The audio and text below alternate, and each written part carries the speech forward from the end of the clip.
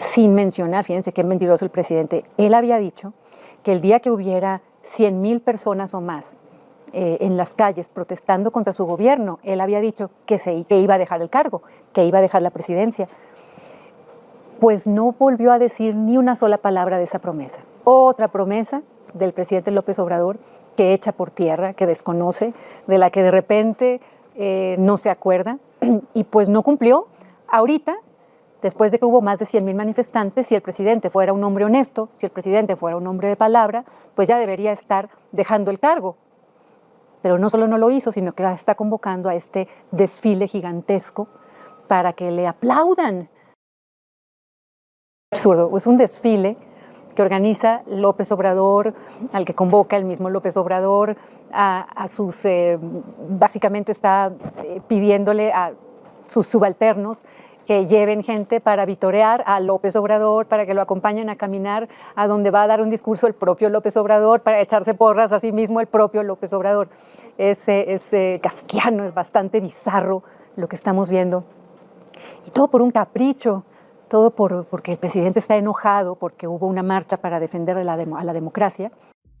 Tengo la dicha enorme de eh, gobernar en un tiempo en que existen las benditas redes sociales. ¿Qué más le puedo pedir a la vida?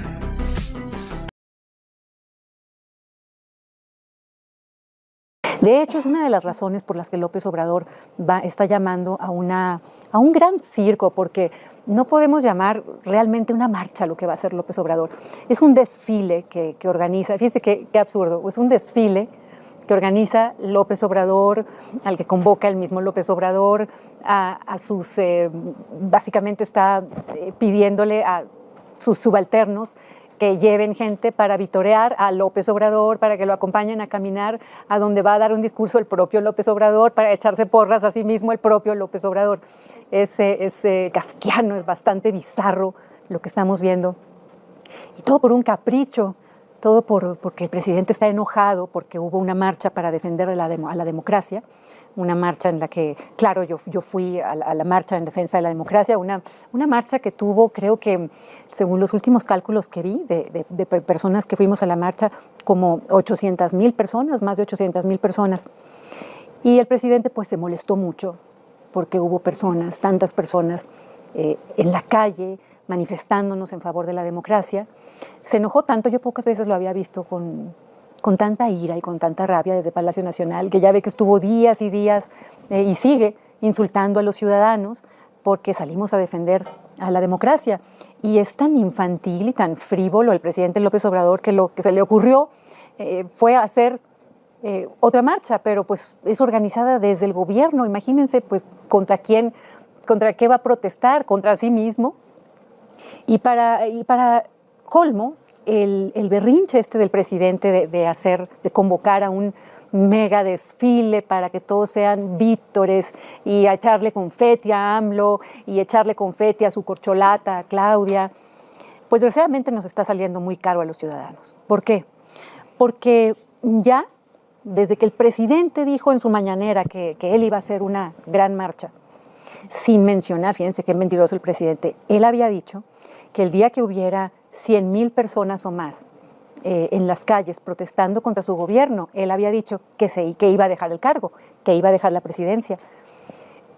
Pues no volvió a decir ni una sola palabra de esa promesa. Otra promesa del presidente López Obrador que echa por tierra, que desconoce, de la que de repente eh, no se acuerda y pues no cumplió. Ahorita después de que hubo más de 100.000 manifestantes, si el presidente fuera un hombre honesto, si el presidente fuera un hombre de palabra, pues ya debería estar dejando el cargo. Pero no solo no lo hizo, sino que está convocando a este desfile gigantesco para que le aplaudan, porque pues tiene la piel tan delgadita, está tan dolido porque no pudo convencer a la gente eh, que hizo que todo el gobierno federal y que los gobernadores de Morena en todo el país y que los alcaldes de Morena en todo el país y que todo el partido que vive de recursos públicos, para todos ya no hay ni existe ninguna prioridad que el desfile del presidente. Imagínense el costo que es para los ciudadanos tener al gabinete en pleno, a la secretaria de Seguridad Pública, al, secretario de Hacienda, al de Comunicaciones y Transportes, en fin, de Agricultura, todas las áreas que compone el gabinete. La prioridad ya no son los problemas del país, según las áreas que les correspondan. Todos los gobernadores no tienen en este momento como prioridad atender los problemas de los ciudadanos en salud, en inseguridad y en la economía, que son los tres más graves eh, problemas, valga la redundancia, que estamos sufriendo los ciudadanos. No, ahorita todo eso no es prioridad. Ni para los gabinetes de los gobernadores tampoco es prioridad. Lo único que les importa al gabinete del presidente, a los gobernadores, a los gabinetes de los gobernadores, a los presidentes municipales de Morena, lo único que les importa es cumplir con la cuota de acarreados que les ha pedido presidencia. Es cumplir con llevar, a algunos les tocan mil personas, a otros les tocan dos mil, a otros les tocan diez mil personas, a otros les toca llevar veinte mil personas. ¿Cómo los van a movilizar? Con nuestros impuestos. Los mexicanos vamos a tener que pagar ese dineral que va a costar el desfile para el presidente. Un desfile que lo único que pretende es eh, eh, echarle porras al presidente para que él se sienta querido, para que él se sienta apreciado, para que él se sienta el mero mero y que todavía, eh, que todavía la hace, que todavía lo quieren, para que se sienta aprobado. Imagínense lo que nos cuesta a todos los ciudadanos, porque no es nada más el dinero del acarreo, que es transportación, es la renta de los vehículos o usar los vehículos del gobierno, la gasolina, la comida, todo eso nos va a costar el gran desfile para el presidente. Además es lo que comentaba hace un momento, que la atención de los supuestos servidores públicos pues ya no está en la necesidad de los ciudadanos, está en lograr cumplir cuántas personas tienen que llevar al desfile.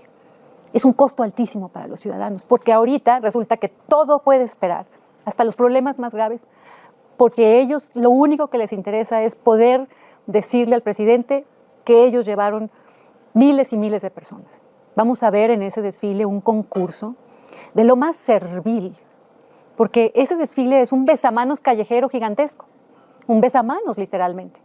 Todos, para empezar, las corcholatas, pues van a competir a ver quién es más servil, a ver quién se agacha más ante el presidente. Y los gobernadores, a ver quién es más servil. Van a competir a ver quién le llevó más gente todo pagado con el trabajo de todos los ciudadanos. Carísimo nos sale el ego del presidente, carísimo nos sale el berrinche del presidente, porque hubo más de 100 mil ciudadanos protestando en defensa de nuestra democracia. Es la vergüenza que debería darle al presidente tener tantos ciudadanos en defensa de la democracia. Pero pues no tiene vergüenza. Ya vimos que no tiene vergüenza el presidente López Obrador. Para empezar, no se fue como prometió y ahora está tan enojado que nos va a cobrar a todos los ciudadanos su gran fiesta de servilismo. Qué espectáculo tan denigrante el que vamos a ver. Los acarreados que van a ir, pues imagínense que, cómo se sentirán de comprometidos, amenazados porque les van a quitar dinero o les van a quitar hasta el trabajo si no van y le gritan a López Obrador que es el rey del mundo. Y luego los funcionarios públicos compitiendo entre ellos, usando nuestro dinero para decirle, yo te traje más gente, aquí hay un convoy de, no sé, del estado que usted quiera, gobernado por Morena. Bueno, gobernado es un decir, porque en realidad se sirven de los ciudadanos en lugar de servir a los ciudadanos. Todos le vamos a pagar este gran desfile denigrante al presidente López Obrador, porque tiene el ego eh, golpeado. Así que eh, ese día se está convocando para que los ciudadanos que queremos defender a la democracia nos vistamos de rosa y blanco en apoyo a la democracia y pues en contra de lo que quiere hacer López Obrador. ¿Qué, quiere hacer López Obrador? Se lo voy a explicar de una forma muy, muy, eh, muy simple. El presidente López Obrador se quiere quedar con el INE. Quiere que el INE dependa de su gobierno para poder hacer trampa en la siguiente elección presidencial. ¿Y por qué quiere hacer trampa en la siguiente elección presidencial? Pues porque ya se dio cuenta que no va a poder ganar su corcholata, Claudia Sheinbaum. ¿Y por qué se dio cuenta de ello? Pues porque ya los ciudadanos, le han pasado reportes que indican que la mayoría de los ciudadanos ya están conscientes de que su gobierno salió corruptísimo, corruptísimo. Vaya, la estafa maestra que fue bandera de campaña de López Obrador se quedó chiquita comparada nada más con el caso de Segalmex. Entonces, él sabe que los ciudadanos, eh, pues nos dimos cuenta todos de que eran mentiras lo de, lo de la honestidad y que los ciudadanos estamos sufriendo en todas las áreas, desde los que viven en el campo hasta las ciudades. Y sabe el presidente López Obrador que si él no controla al INE para hacer trampa, sabe que la banda presidencial se la va a tener que entregar a la oposición. Y si algo, si algo no respeta a López Obrador es perder.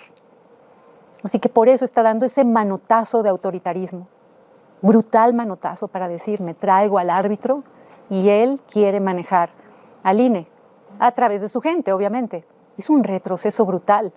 Lo, ha dicho, lo han dicho organismos internacionales, bueno, hasta la Iglesia Católica lo ha señalado con toda claridad.